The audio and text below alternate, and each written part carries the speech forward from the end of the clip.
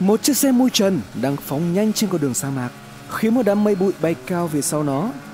Tài xế ăn mặc chỉnh tề, nhìn mình trong gương chiếu hậu, chỉnh lại kính râm một chút. Anh ta biết bản thân mình trông rất ổn. Tại sao nhà sản xuất bộ phim có doanh thu cao thứ 9 của Hollywood trong tháng 9 lại không vui chứ? Chiếc xe dừng lại đột ngột trước một tòa nhà, có vẻ là những công trình kiến trúc duy nhất trong sa mạc rộng lớn, trống không này. Nhà sản xuất nhảy khỏi xe và khảo sát địa điểm hoang vắng này. Có một mảng bê tông bị nứt, các tòa nhà bị thời tiết tàn phá, nằm trơ trọi nơi sa mạc trải dài hàng dặm theo mọi hướng. Nơi này thật tuyệt! Nhà sản xuất nói to. Toàn bộ địa điểm sẽ rất hoàn hảo trong một bộ phim mới của anh ấy, lấy bối cảnh hoàn toàn tại một sân bay ở sa mạc và kể câu chuyện về một người thợ máy cô đơn, người phải lòng một thợ săn tiền thưởng đang đuổi theo một tên tội phạm đào tẩu, một câu chuyện xưa như trời đất. Nhưng người đã gọi cho anh ta đang ở đâu rồi? Anh ta cứ lan man về việc muốn làm bộ phim tài liệu về sa mạc hay gì đó. Nhưng bây giờ, điều đó không thành vấn đề. Anh chưa tìm đâu ra địa điểm quay phim tuyệt vời, nhìn nơi anh ấy đang ngồi. Nhà sản xuất gọi lớn, xin chào! Nhưng phản ứng duy nhất nhận được là làn gió sa mạc. Anh ta tháo kính dâm ra và nhìn xung quanh. Anh ấy thấy rằng cửa nhà chứa máy bay có một khe hở. Có lẽ anh chàng sở hữu nơi này đang ở trong đó. Nhà sản xuất bước vào bên trong nhà máy chứa máy bay, nhưng đột ngột dừng lại. Miệng anh há hốc. Anh không thể tin được những gì mình đang thấy. Nơi này thậm chí còn tuyệt vời hơn những gì mà anh chàng trên điện thoại đã mô tả về nó. Nhà chứa máy bay rất lớn và hoàn toàn trống rỗng. Anh ta có thể dựng gần như tất cả các đạo cụ trong nhà chứa máy bay, thậm chí có thể quay toàn bộ bộ phim nơi đây. Anh ấy sẽ tiết kiệm được một khoản lớn ngân sách nhờ không phải trả tiền cho các phim trường đắt đỏ ở Los Angeles. Mình đúng là thiên tài. Anh tự nghĩ, bộ phim có thể thất bại nhưng vẫn thành công về mặt tài chính. Nhưng người đã gọi cho anh ta đang ở đâu? Anh không biết người đã liên lạc là ai. Anh là một nhà sản xuất rất bận rộn và không có thời gian để chờ một gã vớ vẩn nào đó ở nơi này. Thôi, như vậy là được rồi. Anh quay người rời đi. Nhà sản xuất quay lưng bỏ đi, nhưng cánh cửa của nhà trường máy bay đột nhiên đóng sập lại kèm theo một tiếng nổ. Đây có phải là một trò đùa? Anh ta đi đến cửa nhà trường máy bay và bắt đầu đập vào chúng, nhưng chúng không thể di chuyển. Xin chào! Này, tôi bị mắc kẹt ở đây. Có chuyện gì vậy? Vẫn không có phản hồi. Chuyện gì đang xảy ra ở nơi này? Nhà sản xuất trở nên lo lắng. Đây có phải là một màn gái bẫy? Anh ta sắp bị cướp à? Nếu họ lấy xe của anh ta thì cũng không sao. Dù gì thì anh cũng trễ hạn thanh toán tới 9 lần rồi. Nhưng ở đây nóng quá. Bên ngoài trời nóng, nhưng trong nhà trường máy bay này còn nóng hơn. Và ai đã nói rằng không khí sa mạc khô? Đúng là ngu ngốc. Độ ẩm cao đến mức làm anh ngột ngạt. Nhà sản xuất nới lỏng cổ áo của anh và kéo mạnh nó, cố gắng để bớt nóng. Được rồi, như vậy đối với tôi là quá đủ. Nếu không để tôi ra khỏi đây, sẽ có vấn đề lớn cho anh đấy. Ngay sau đó, nhà sản xuất nghe thấy một tiếng động ở phía sau anh ta, phát ra từ bóng tối phía sâu trong nhà trường máy bay. Tuy nhiên, anh không phản ứng, anh ấy cần phải tỏ ra thật ngầu. Anh cúi xuống, giả vờ buộc dây dài và lấy khẩu súng lục ra khỏi bao da ở mắt cá chân. Anh ta đứng dậy và quay xung quanh, chĩa súng về phía trước, nhưng không thể nhìn thấy ai trong bóng tối. Đây là cơ hội cuối cùng, tôi không đùa đâu. Tiếng động lạ lại xuất hiện, một tiếng động âm âm nhỏ và nhà sản xuất loạn choạng tiến về phía trước. Chuyện gì vừa xảy ra vậy? Cảm giác như sàn nhà gợn sóng và đẩy anh ta về phía trước. Nó xảy ra một lần nữa và lại tiếp tục như vậy. Nhà sản xuất hét lên. Chuyện gì đang xảy ra vậy? Tiếng âm ầm, gầm gừ ngày càng lớn hơn khi sàn nhà không ngừng gợn sóng và đẩy anh ta về phía trước, giống như một làn sóng cuộn qua mặt đất. Đây có phải là một trận động đất không? Nhà sản xuất phim bị hất văng khỏi nơi anh ta đang đứng và sàn nhà vẫn tiếp tục đẩy anh ta về phía trước, nơi phát ra tiếng gầm gừ khủng khiếp đó. Anh cố gắng đứng nhưng không thể. Sàn nhà đang di chuyển liên tục. Anh ta cố gắng bò ngược lại, nhưng càng ngày càng di chuyển đến gần nguồn phát ra tiếng gầm chói tai đó. Dường như được phát ra từ... Cái gì vậy? Nhà sản xuất phim la hét và nã súng vào thứ trước mặt anh ta. Nhờ những tia sáng của tiếng súng, cuối cùng anh ta cũng có thể nhìn thấy nó, thứ mà anh ta đang bị đẩy vào. Một cái miệng khổng lồ chứa đầy răng đang chuẩn bị sơi con mồi. Thật xui xẻo cho nhà sản xuất phim này khi anh ta đã không nhận ra cho đến khi quá muộn rằng địa điểm cho bộ phim mới của anh lại là địa điểm cuối cùng mà anh ấy đến xem xét. Như bạn có thể đã hình dung ra, tòa nhà vô danh ở giữa sa mạc này hoàn toàn không phải như hình dạng ban đầu trông thấy. Trên thực tế, đối với tổ chức SCP, nó khá nổi tiếng với cái tên SCP-1051. SCP-1051 hoàn toàn không phải là một tòa nhà mà trên thực tế là một sinh vật sống. Vỏ của sinh vật này giống như một nhà máy chứa máy bay khá lớn và có kích thước 700 x 500 x 60 m. Nó là một sinh vật hoàn toàn bất động và hoạt động như một kẻ săn mồi phục kích, dụ con mồi đến với nó thông qua một số hình thức thao túng xã hội học và tâm lý học khác nhau. SCP-1051 cố gắng đưa con mồi đến với nó theo nhiều cách, nhưng phương pháp chính của nó là truyền bá một số ý tưởng và văn hóa đại chúng. Nó sẽ liên tục cố gắng kết nối với các vệ tinh quay quanh quỹ đạo và sử dụng chúng để phát ra tín hiệu truyền hình, hình ảnh và các hình thức truyền thông khác. Nó được đánh giá là có tỷ lệ kết nối và truyền bá thông tin thành công khoảng 25% bằng vệ tinh.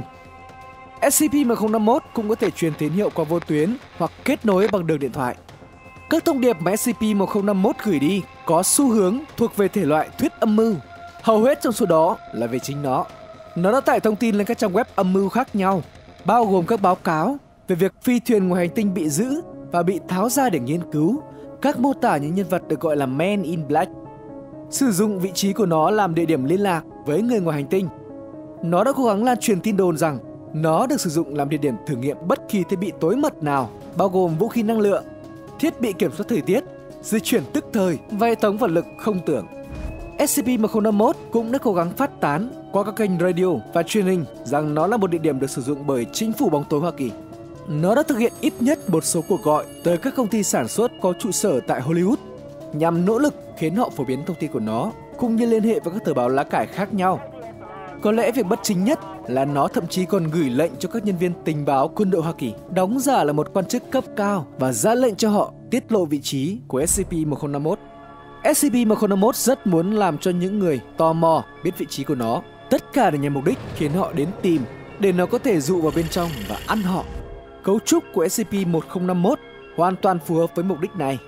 Cấu trúc sinh học kỳ lạ của nó bao gồm một cái lưỡi lớn, trông rất giống với một đường băng lát đá, lưỡi dần thẳng và một tập hợp các cửa lớn của nhà chứa máy bay, có thể được gọi là miệng của sinh vật. Miệng mở ra trông giống như một nhà chứa máy bay, nhưng thực sự là cơ quan giống như mề của SCP-1051, nơi nó nghiền con mồi thành bột nhão để chuẩn bị cho quá trình tiêu hóa. Tòa nhà tiếp theo là dạ dày của sinh vật, nơi nó phân hủy con mồi đã hóa lỏng thành chất dinh dưỡng và tách các chất thải mà nó không thể tiêu hóa. Các chất dinh dưỡng được vận chuyển đến khu vực não của SCP-1051, trong khi chất thải được đẩy ra ngoài. Cuối cùng, có những thứ dường như là anten ở bên cạnh của tòa nhà. Các cơ quan phân phối thông tin này cũng mở rộng xuống phía dưới mặt đất, nơi có nhiều dâu và dày hơn, cho SCP-1051 khả năng gửi nhiều tín hiệu truyền hình, radio và các tín hiệu khác. SCP-1051 được phát hiện vào năm 1947 khi một cấu trúc hình quả trứng được báo cáo là đã rơi xuống sa mạc ở tây nam nước Mỹ, gần thị trấn Rose, New Mexico. Không quân Hoa Kỳ đã phát hiện ra quả trứng kỳ lạ này và chuyển nó đến vị trí hiện tại ở Nevada để quan sát và nghiên cứu. Các nhà khoa học của lực lượng không quân, những người được giao nhiệm vụ nghiên cứu vật thể này ban đầu nghĩ rằng họ đang phân tích một thiên thạch, mặc dù nó được cấu tạo từ các vật chất chưa được biết đến. Họ sớm phát hiện ra rằng vật thể này rỗng và chứa đầy một loại chất lỏng nào đó. Tuy nhiên, Kỳ lạ nhất là khi họ phát hiện ra thứ gì đó bên trong lõi chất lỏng và nó đang di chuyển. Họ đã nghiên cứu đối tượng trong nhiều năm cho đến một ngày, một điều gì đó xảy ra và kết thúc nghiên cứu của họ. Quả trứng đã nở.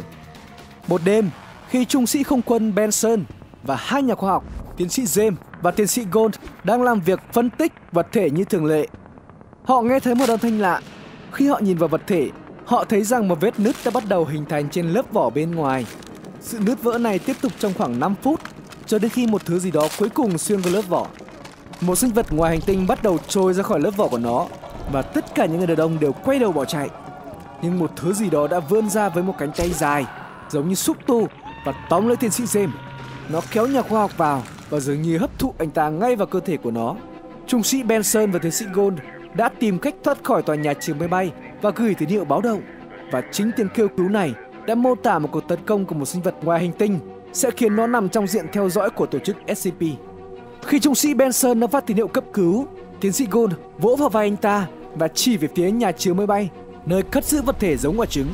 Hai người đàn ông quan sát khi nhà chứa máy bay phồng lên và mở rộng, giống như có thứ gì đó đang đè lên các bức tường từ bên trong. Nhà chứa máy bay đột nhiên đổ sụp và họ nhìn sinh vật đang quằn quại trong đống đổ nát.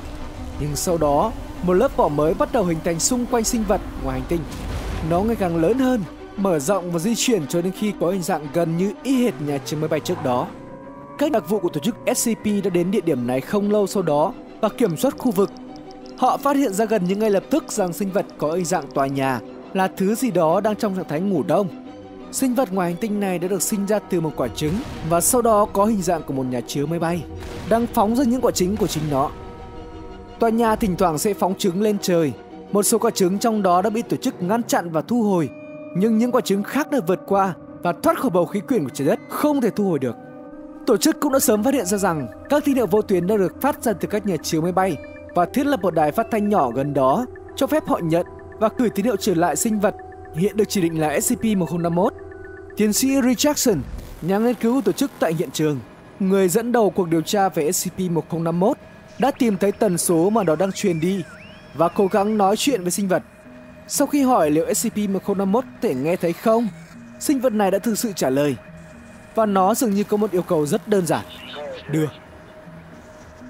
Khi tiến sĩ Richardson yêu cầu nó trình bày chi tiết, hỏi đưa cái gì, SCP-1051 đã trả lời muốn thức ăn, mang thức ăn. Khi bác sĩ nói với SCP-1051 rằng nó sẽ không kiếm được thức ăn, dị thường ngay lập tức gửi đến một truyền tin mới cho biết Khu vực 51 hiện đang được kiểm soát bởi tổ chức SCP, một tổ chức chính phủ bí mật đã chỉ định nó là SCP-1051. Đây là tên một và các đặc vụ. Tiến sĩ Richardson ngưng phỏng vấn SCP-1051 và ra lệnh cử một nhân viên cấp D vào bên trong sinh vật, hy vọng xoa dịu nó và ngăn nó gửi thêm bất kỳ chương trình phát sóng nào về tổ chức cực kỳ bí mật. Khi được hỏi tại sao nó lại gửi những tín hiệu này, SCP trả lời rằng nó đang cố làm cho con người tò mò. Có vẻ như chiến lược săn mồi của nó là khiến cho thế giới tràn ngập các thuyết âm mưu, thuyết âm mưu về chính nó. Điều này sau đó sẽ khiến cho những người quan tâm đến khám phá vị trí và một khi họ vào nhà chứa máy bay, sự tò mò của họ sẽ được thưởng bằng một cuộc gặp gỡ với sinh vật ngoài hành tinh mà họ đang tìm kiếm. SCP-1051 cũng giải thích rằng những quả trứng mà nó đang phóng ra là con của nó và có vẻ khá khó chịu khi tổ chức đã chặn một số trong đó khi chúng đang trên đường thoát ra ngoài quỹ đạo. Những SCP-1051 đang nghĩ ra những thuyết âm mưu này từ đâu? Có phải nó đang nghiên cứu nền văn hóa của chúng ta và sự bùng nổ của khoa học viễn tưởng trong những năm 1940 để tạo ra những câu chuyện mà nó nghĩ sẽ dẫn mọi người đến với đó. Nhà nghiên cứu của tổ chức, tiến sĩ Richardson đã linh cảm rằng có điều gì đó khác đang xảy ra. Tiếp theo, ông nói chuyện với tiến sĩ Gold, một nhà khoa học khác của lực lượng không quân, người đang nghiên cứu về thiên thạch hình quả trứng và yêu cầu anh ta mô tả nạn nhân đầu tiên của SCP-1051, tiến sĩ James. Tiến sĩ Gold kể rằng tiến sĩ James bị ám ảnh bởi công việc của mình và điều đó đã ảnh hưởng tới cuộc sống cá nhân của anh. Anh ấy rất mê khoa học viễn tưởng. Tiến sĩ James dường như yêu thích hạng phim B đặc biệt là phim về người ngoài hành tinh và UFO. Anh tin chắc rằng chính phủ đã có cả hai và nghiên cứu của anh về thiên thạch hình quả trứng kỳ lạ chỉ khiến cho anh thêm tin tưởng vào sự thật đó. Có phải SCP-1051 đã hấp thụ kiến thức này bằng cách nào đó từ bữa ăn đầu tiên của nó trên trái đất và hiện đang sử dụng nó như một cách để thu hút những con mồi mới? Tiến sĩ Richardson nghĩ rằng nó có thể còn hơn thế khi anh phát đoạn ghi âm cuộc trò chuyện đầu tiên của anh với SCP-1051 cho tiến sĩ Cole. SCP-1051 nói rằng nó muốn được mật thức ăn. Tiến sĩ Gold đã bị sốc. Giọng nói mà anh ấy đang nghe thuộc về tiến sĩ James. SCP-1051 vẫn còn đang trong sa mạc Nevada và khu vực của nó luôn được tuần tra bởi không dưới 20 nhân viên của tổ chức trong bộ đồng phục giống như không quân Hoa Kỳ. Họ được phép bắn vào những người xâm nhập nhưng không phải với ý định giết. Thay vào đó, chỉ như một phương tiện để xua đuổi họ nếu bất kỳ người xâm nhập nào đến trong bán kính 1 km tính từ SCP-1051 họ sẽ bị giam giữ và xử lý xóa trí nhớ các bà. Vì mối nguy hiểm của chính SCP-1051 bắt nguồn từ khả năng phát tán thông tin sai lệch của nó, các nỗ lực ngăn chặn chính của tổ chức SCP là tập trung vào việc ngăn chặn các chương trình phát sóng của nó. Các đặc vụ phải trả lời bất kỳ tin đồn hoặc câu hỏi của dân thường nào về SCP-1051 bằng việc phủ nhận và chế nhạo điều đó. Để làm rõ rằng đó là những câu chuyện bịa đặt và thật ngu ngốc khi tin chúng, nếu họ thể hiện bất kỳ kiến thức nào ngoài những thông tin thông thường thì việc áp dụng phương pháp soi trí nhớ cấp 3 cũng được cho phép. Bất kỳ vệ tinh nào gần vị trí của SCP-1051 đều phải được theo dõi để phát hiện các hành vi bị nghi ngờ, gây nhiễu sóng và nếu bất kỳ anten nào có mục đích không xác định được phát hiện trong bán kính 10 km của tòa nhà, chúng sẽ bị phá hủy hoặc bị bao quanh bởi một chiếc lồng Faraday. SCP-151 có thể không thể di chuyển, nhưng khả năng sinh sản của nó và những khó khăn mà tổ chức phải đối mặt khi ngăn chặn thông tin sai lệch của nó đã khiến SCP-101 được phân loại là Euclid. Những nghiên cứu về nguồn gốc và cấu tạo sinh học của nó vẫn đang được tiến hành. Bây giờ, hãy xem thêm một dị thường khác mà bạn không bao giờ muốn bước vào bên trong. Đó là SCP-002, căn phòng sống. Và nhớ đăng ký kênh khi chúng tôi nghiên cứu sâu hơn và rõ hơn về các kho lưu trữ bí mật của tổ chức SCP.